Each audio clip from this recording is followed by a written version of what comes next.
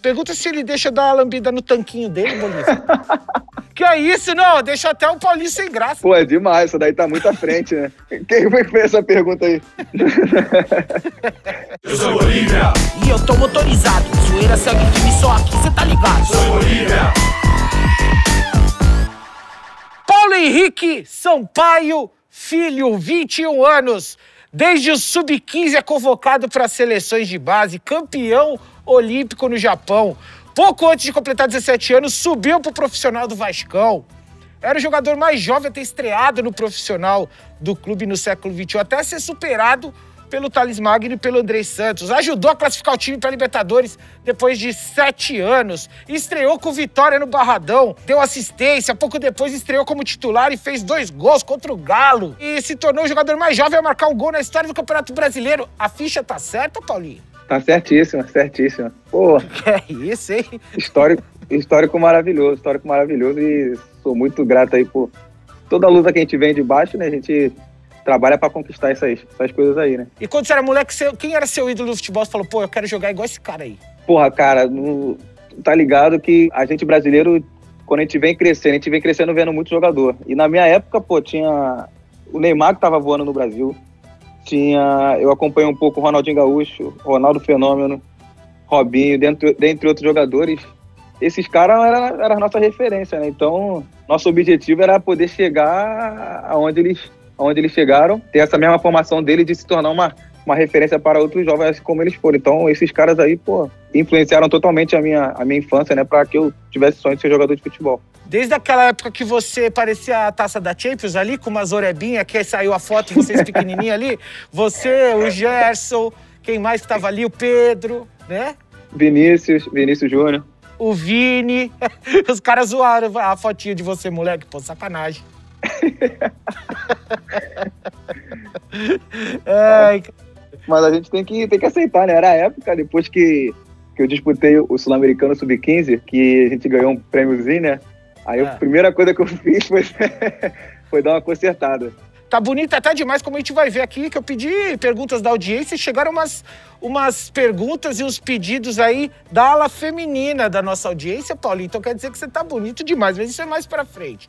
Por enquanto eu queria saber o seguinte: pergunta do Instagram aqui, qual o time dele de infância? Dizem que ele era Fluminense, responde essa pra nós. É verdade? Quem foi que fez essa pergunta aí?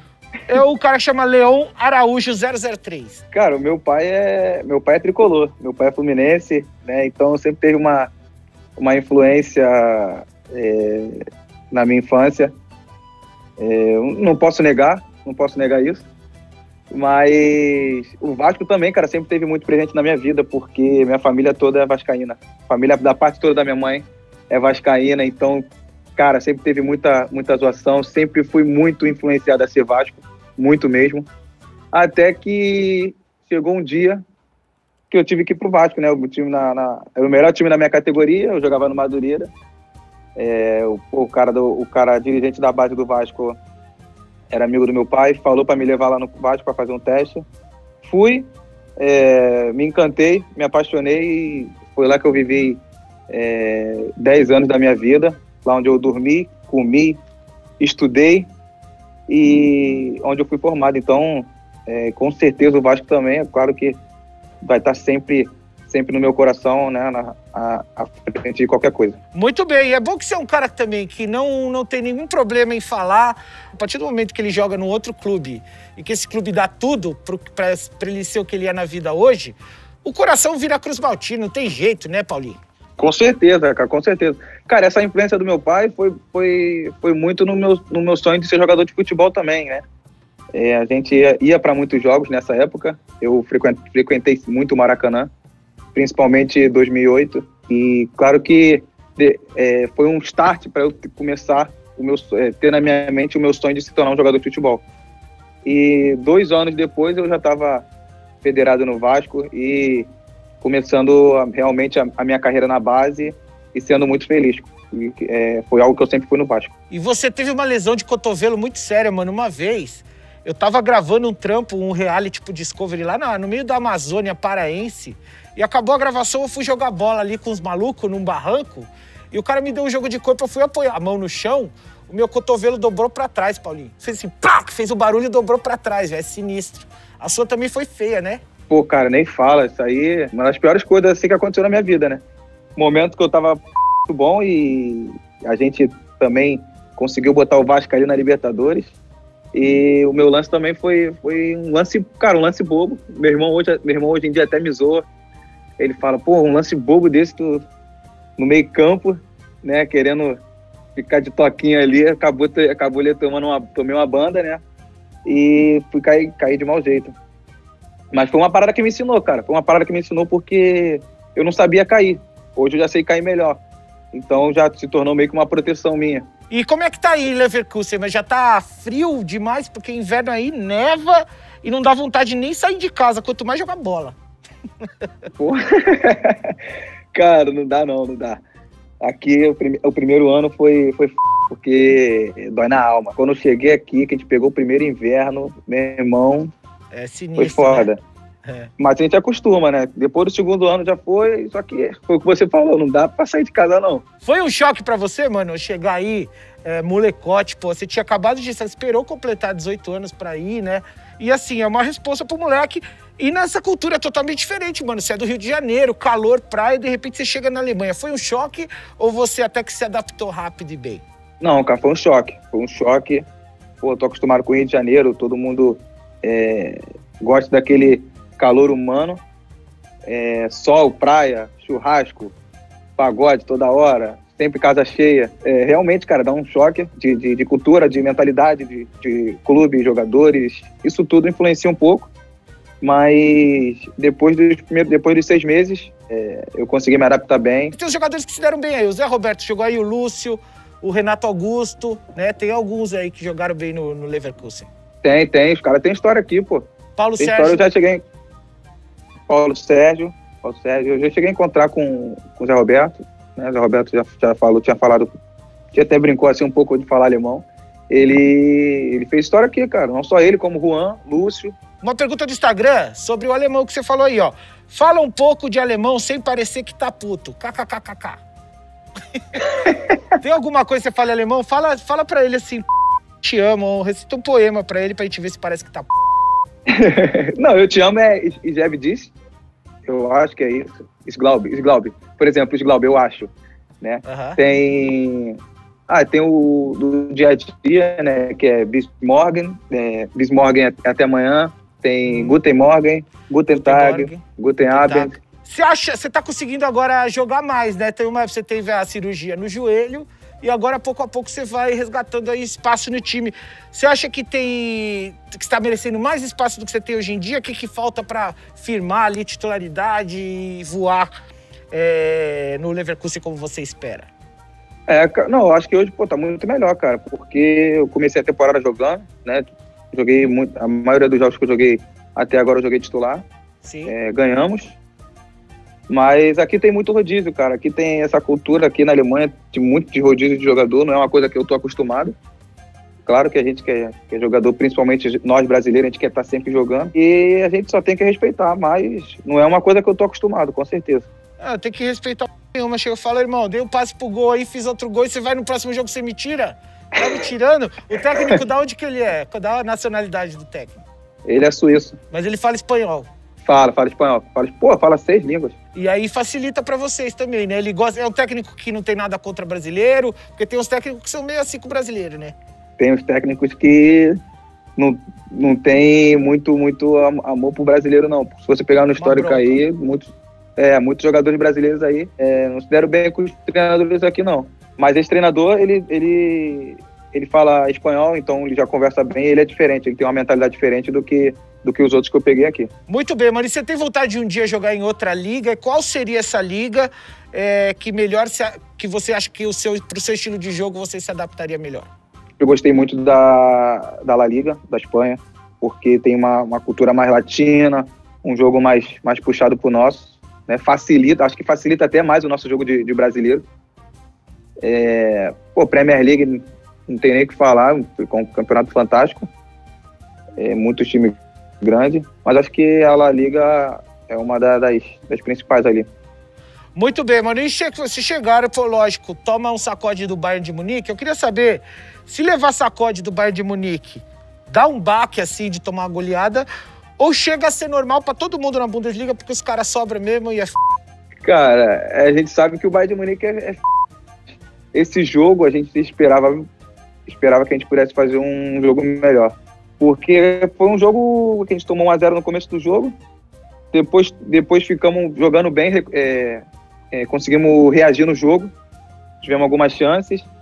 E depois que a gente tomou o segundo gol, acho que foi um atrás do outro. Então, é, foi um momento de apagão ali que, que, gente, que o time teve.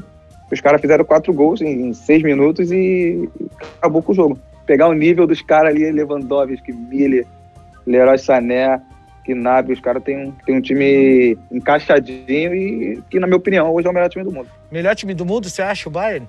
Acho, acho o melhor time mais em conjunto. Em conjunto, o melhor time do mundo. Vai demorar para quebrar essa hegemonia deles na Bundesliga? Você acha? Vai levar um tempo ainda?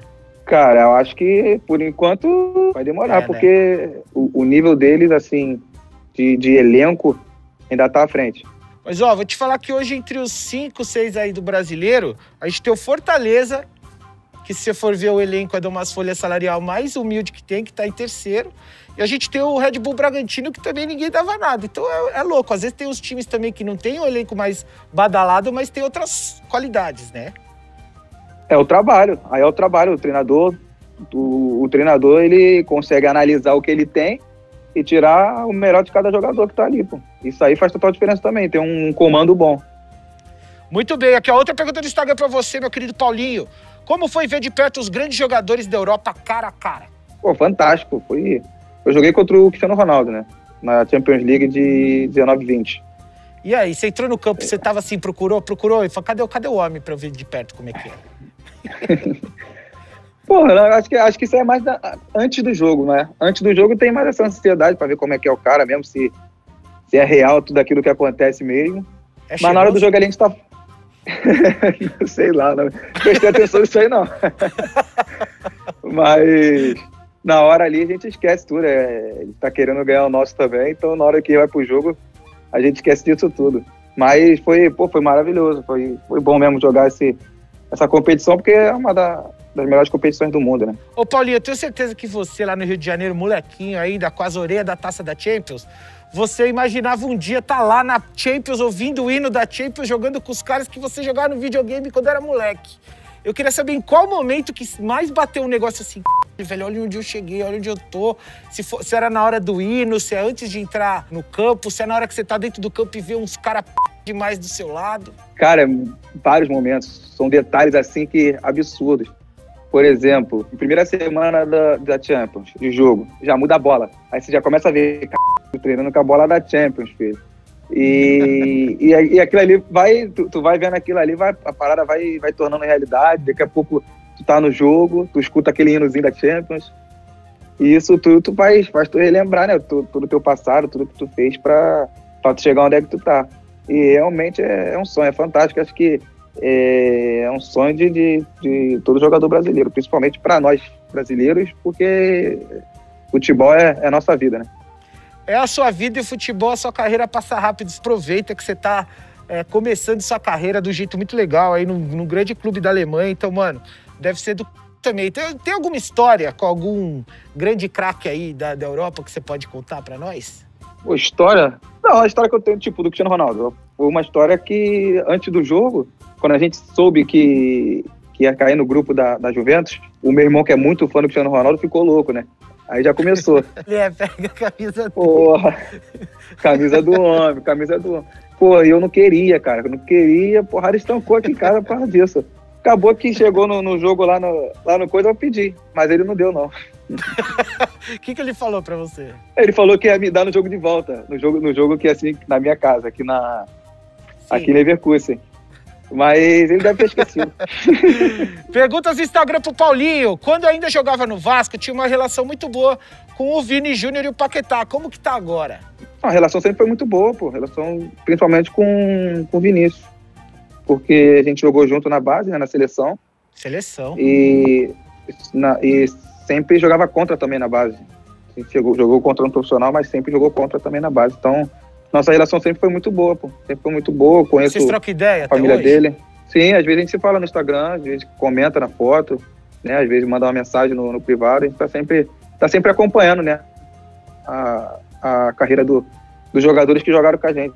Oi, e os dois estão jogando fino, hein, Paulinho? O Vini e o Paquetá estão demais, mano. Então mesmo, então mesmo, estão jogando muito mesmo. Estão conseguindo aí é, se firmar nos times e, e conquistando o protagonismo, né? Que são da capacidade deles. Beleza. Mais uma aqui, Paulinho pergunta. Acha que tem condições de ser convocado e brigar pela titularidade da seleção principal? Ou, Paulinho, tá muito perto da Copa?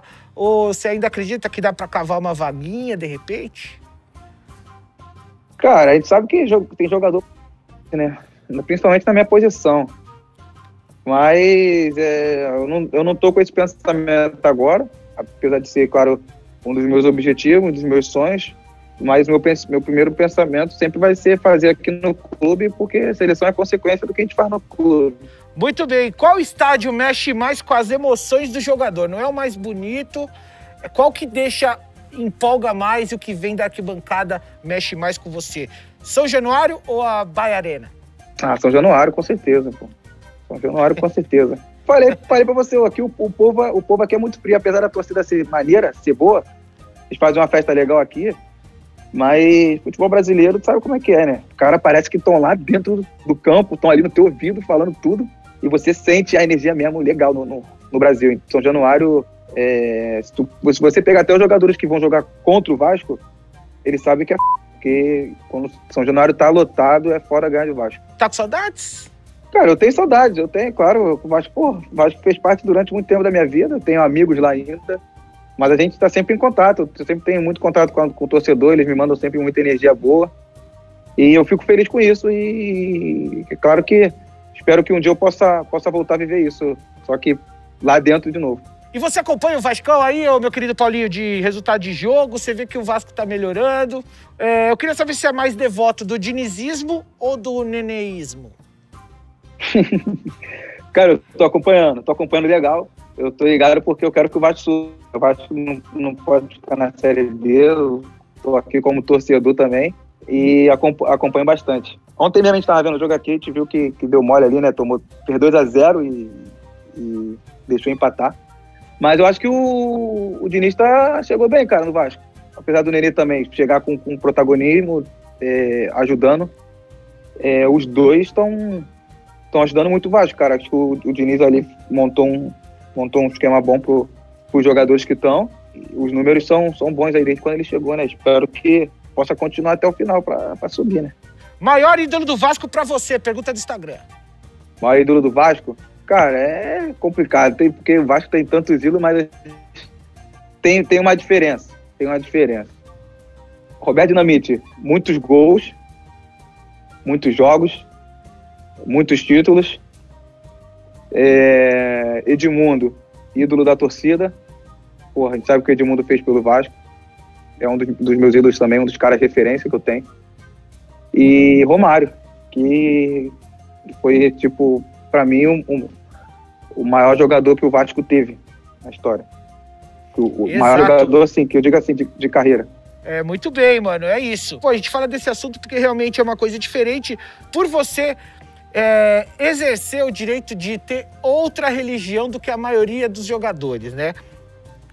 O- a Câmara do Rio de Janeiro até chegou a dar uma medalha pra você na sua luta pela contra a intolerância religiosa tal. E tem uma pergunta do Twitter muito boa aqui, ó. Saindo de um time pioneiro na luta contra o preconceito, que é o Vasco, como você se sente sendo símbolo de um movimento contra a intolerância religiosa no futebol, ainda mais no nosso país?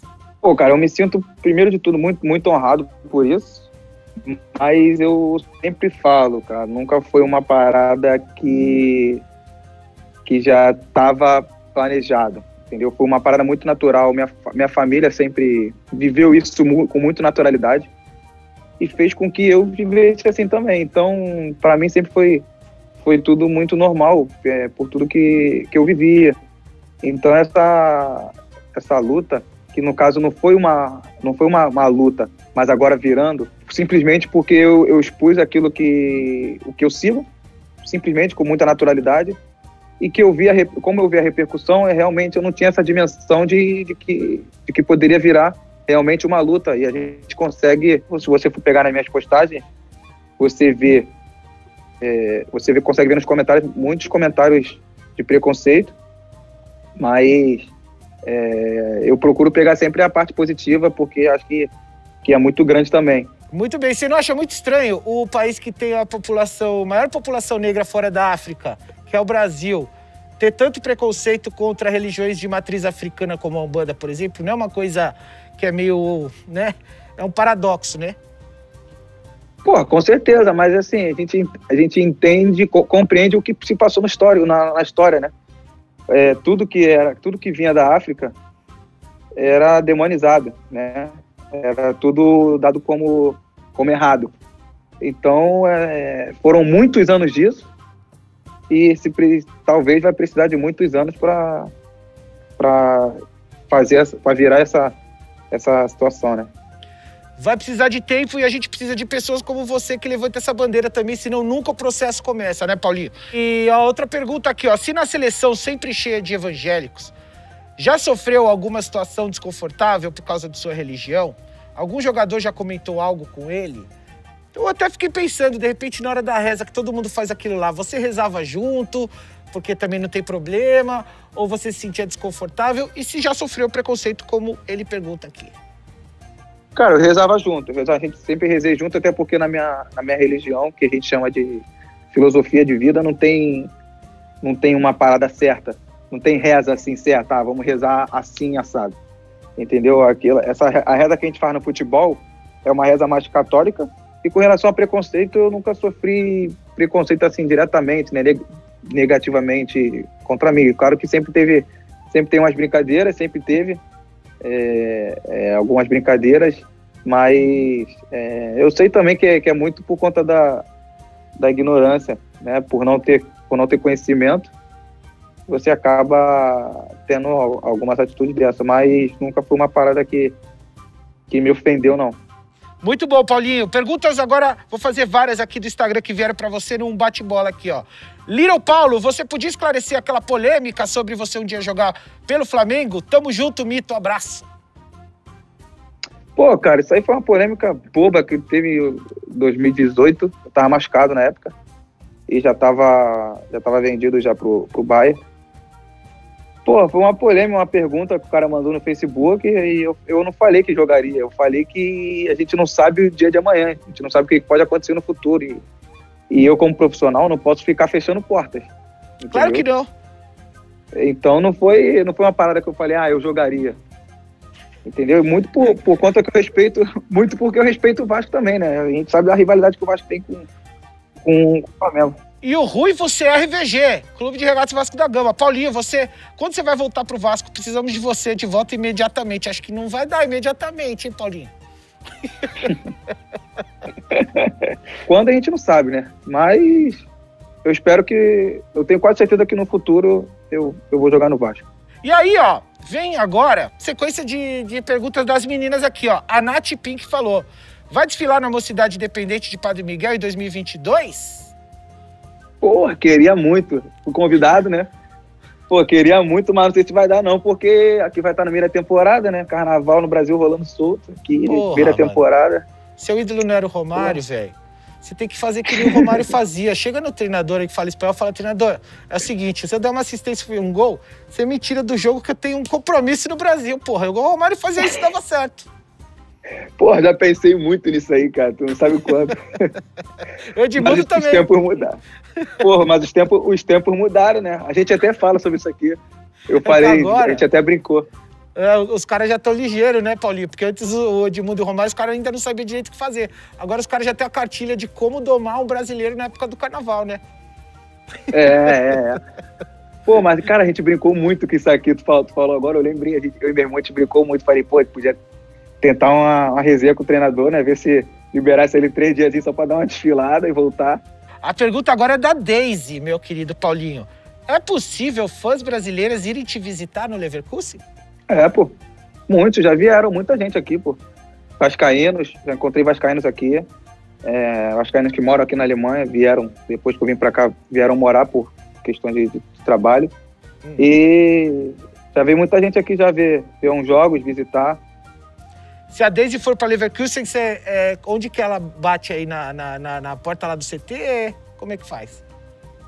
Isso mesmo, pode ir no CT, no CT de Leverkusen. E tem muita coisa para fazer também na, na, cidade próxima aqui, que é onde eu moro. Eu moro em Colônia. Eu não moro em Leverkusen, porque Leverkusen não tem nada. Colônia é melhor para a gente que é brasileiro. E eu moro aqui. Mas Leverkusen que tem, pode chegar lá, pode bater no estádio, que o CT é do lado. Quiser ver treino, quiser comprar, comprar camisa, comprar é, brinde, tem muita coisa lá também. Tem a loja do, do clube.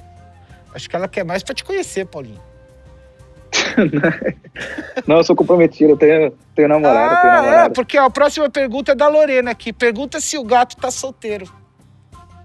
Então, então não tá solteiro. Tô não, tô não, tô não. Tá namorando. Pe... Não, tô solteiro, tô solteiro, mas não tô, entendeu? Entendi. Você tá numa relação que não chegou a assumir completamente, mas você tá com uma pessoa. Não, não, eu tenho namorada, mas eu não sou casado, entendeu? Ah, solteiro no, no, no, no. Tá, entendi. Isso aí, Estado Civil solteiro. Sim, Estado Civil é solteiro. Muito bem. E a, pelo amor de Deus, Silvia, que é o nome do perfil dela, a Silvia manda aqui. Pergunta se ele deixa dar uma lambida no tanquinho dele, Bolívia. que é isso, Silvia? Foi ousada, hein? que é isso? Não, deixa até o Paulinho sem graça. Você é namorado dele, tá ouvindo. Ô, Silvia, para com isso. Vamos, vamos pro Já Jamais, né, Paulinho? Ela, ela foi muito ousada, né? Pô, é demais, isso daí tá muito à frente, né? Vamos pro Já Jamais, que é o último quadro aqui, Paulinho. Eu falo uma frase, você só responde com Já Jamais, beleza? Beleza. Comer um joelho de porco aí na Alemanha? Jamais. Jamais? Você não experimentou o Eisbein? Porra, cara, uma, uma vez quem comeu foi o meu pai, eu acho que comeu, e o meu personal também. Eles não gostaram, não. Pô, mano, eu, eu, os caras comeram quando eu fui aí, eu vi aquela parada. Sabe o que que parece? A foto da sua cirurgia do joelho, da artroscopia que você fez no joelho, mano. Porque você vê todos os nervos do joelho do porco ensopado, assim, não dá vontade de comer aquela porra, não, mano. Parece foto da sua cirurgia. É assim mesmo. Comemorou dançando o trem bala da colina na Alemanha. Já. Já, boa. Viu uma alemã dançar funk igual uma brasileira? Jamais. Jamais. E os alemães no vestiário, eles têm alguma musiquinha que os caras dançam no vestiário com aquela cintura dura? Ou nem música no vestiário os caras botam? Pô, cara, que tem muito descendente de africano, então os caras os cara sabem dançar. Tem uns caras que vêm da França, os caras botam uma música maneira, um Burna Boy, os caras mandam bem, tão mal não. Fez um gol e pensou, o respeito voltou, ponto. Já. Já. E para acabar, na hora H, a namorada falou: seu nome é Paulinho, mas poderia ser Gigante da Colina. Já. Muito bem, Paulinho, mano. Obrigado pela entrevista. Prazer te conhecer. Foi demais a entrevista. Gostei demais. E queria te desejar boa sorte aí na Alemanha, que você agora é, continue com essa sequência aí no Leverkusen e se dê cada vez melhor, beleza? Pô, eu que agradeço, irmão. Pô, feliz demais aí pela, pelo convite. Acompanho vocês e Espero que vocês possam continuar fazendo sucesso aí. Obrigado aí, tamo junto. Valeu, é isso. Esse foi o BTS com o Paulinho. Quinta que vem tem mais, porque esse já foi, foi incrível. Valeu, Brasil. Deixa nos comentários aí o que você achou, compartilha com os amiguinhos e se inscreve no Camisa se você ainda não é inscrito. Valeu.